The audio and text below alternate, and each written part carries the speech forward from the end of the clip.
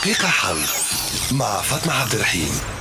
صباحكم مبروك سعيد أبراج بداية أسبوع موفقة إن شاء الله بالفرحة السعادة الموجات الإيجابية هي حظوظ مالية على عاطفية ترافق بعض الأبراج. كيف نحكيو على برج الحمل وأخيرا إنفلاج وأخيرا راحة البال ترافق أياماتكم. الثور؟ أنت المحظوظ. طاقات حلوة ترافق أياماتكم فما استقرار نسبي في الحالة العاطفية.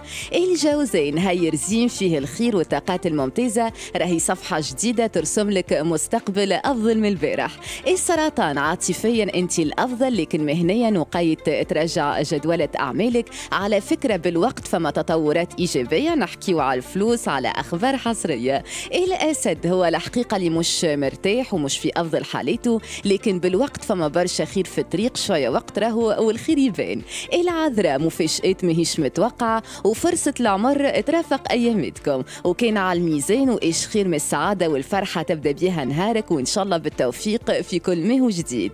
إلى عقرب مغامرة عاطفية جديدة راهو عندك الحب والسعادة الكبيرة. والقوس نحبك تفسخ وتعاود من جديد. حاول تصلح اللي فات وني نحكيو مهنيا. راهو الأسبوع الثالث من ماي للعلاقات المهنية. والجديد تتحقق الأهداف وتعيش زادك الراحة. على فكرة فما ربح مالي يستنى فيكم. حتى الدلو راهو راهو عندكم الفرحة فما أخبار إيجابية. راك تعيش انفراج وطاقات ممتازة. ونختموا مع حوتنا راهو تطورات إيجابية فما الحب هو نحكيو على علاقة حب على قصة حب خيالية.